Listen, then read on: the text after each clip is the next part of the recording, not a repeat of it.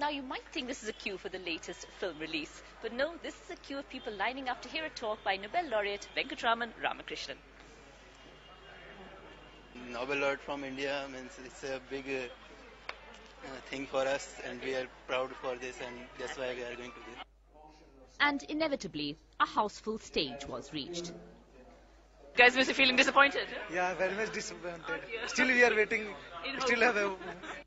Those who made it inside listened to Venkatraman Ramakrishnan's journey from a boy repelled by science because both his parents were scientists to a Nobel Prize winner whose India connection became a matter of pride for the country of his birth.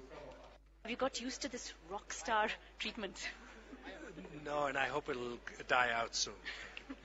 It's only in India, to be honest. I, I, think it happened a little bit in Sweden during this Nobel week. I don't really know the reason for it because uh, I don't quite understand it myself.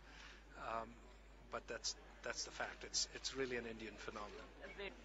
Getting a Nobel Prize must have been easy compared to dealing with being a rock star scientist. Maya Sharma in Bangalore for NDTV.